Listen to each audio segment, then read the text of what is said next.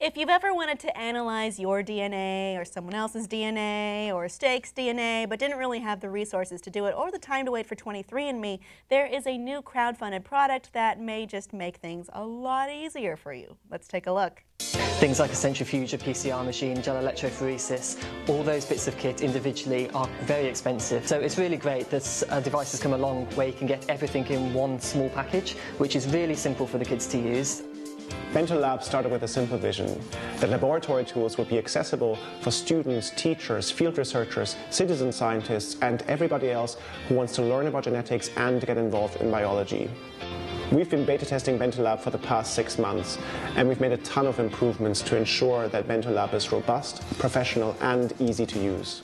So you would just collect some sample of DNA, let's say a hair, saliva, tissue, um, and then put it into the centrifuge for DNA extraction.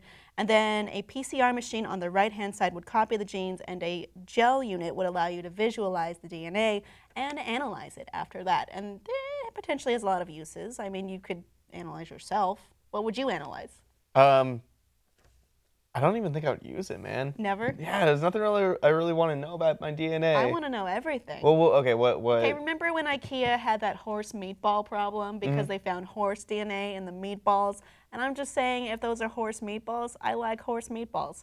Anyway, um, they did that by examining the DNA of the meat. So, and they found that's not pork and beef. Mm-hmm. That's that's horse. You could analyze your food for Yeah. sure and figure out what's in it. Um, uh, I've heard this is good for maybe home brewers to analyze. Uh, you can analyze yourself. I don't know if I would want to know these things, but Mm. maybe I would. Usually, curiosity gets the best of me, and then the depression sinks. in. uh, but yeah, I might want to, you know, analyze my hair, see what's going on with me. Uh, maybe I have some sweet ass genes, and maybe I don't. The cool thing about this is that um, it's it's. I like the idea that it's so cheap and so easy to procure that it can become like a learning device, Mm-hmm. right? Like that, I think someone in the article said it was seven seven hundred something dollars to to get one of these, and to be able to put that into the hands of students and like get kids excited about science from a very early age, I think that's rad as hell. Get Right. that in a kid's hands. I mean, with their imagination Mm-hmm. and their uh, level to absorb things, and you know, maybe develop passions for things early on. That'd be great.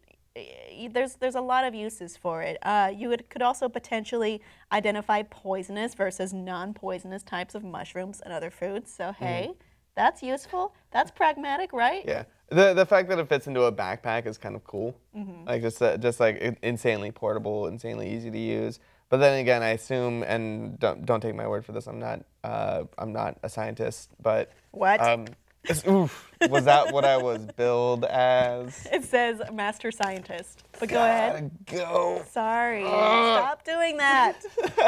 um, no, it's uh, I mean, you you gotta do like you know, collecting DNA and analyzing it are two, two very different things. You know, like vi- being able to visualize it on like a gel electrophoresis thing is is a lot different from like being able to actually like learn shit about it. So it's it's a it's a good first start and it's insanely portable. But um, I th- I think you got to be mindful of like the limitations on something like this, which I don't ne- necessarily know about. But um, I assume that it isn't as easy as it's being billed.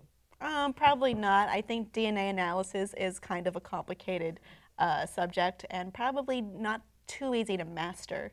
Uh, I don't know what the UI is like for this, but I, I assume it's somewhat easy. But like you said, if it is going to be easy, there will be uh, more limitations than you might find in a different lab. I think it would be a great tool for just analyzing my immediate and surrounding worlds Sure. um, the, the biological structure of things, what goes into things. Um, I would love to get this in the hand of a child, a responsible child, because this is, I mean, it's pretty inexpensive for what it is. It's just under $800 right now. Uh, I think that's the crowdsourcing price, though. It may go up in time, much like the Oculus did. Eh, I think it's a it's it's a cool little DIY genetics experiment, Yeah, and it's do it. it's not the be all end all, but yeah, I, I would definitely get this for sure, and just mess around with it and probably break it. Uh, audience, would you what would you analyze if you could analyze the DNA of anything? Let us know below in the comments, and please like and subscribe for more.